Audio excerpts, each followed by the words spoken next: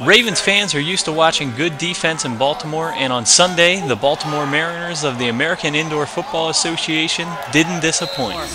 I've never seen a shutout in the AIFA. I mean, our defense played out of their minds today. I mean, I've never seen a shutout. Uh, I didn't play well today, but defense just, I can't even tell you how great they played.